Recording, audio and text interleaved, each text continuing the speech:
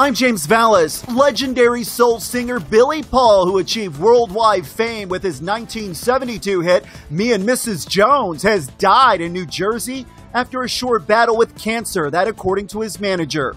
He was 81 years old. Manager Beverly Gay told local media that Paul, who was born as Paul Williams, died at his home in Blackwood, New Jersey on Sunday.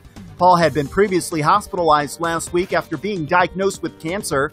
Paul, whose career spanned decades, is best remembered for the 1972 song Me and Mrs. Jones, which topped the Billboard Hot 100 for three weeks. The song also gained popularity outside the United States and was one of the most lauded So songs ever. Paul, who grew up in Philadelphia, won a Grammy Award for Me and Mrs. Jones. For the very latest, stay with BNOnews.com and follow us all day long on Twitter for breaking news updates at BNO News.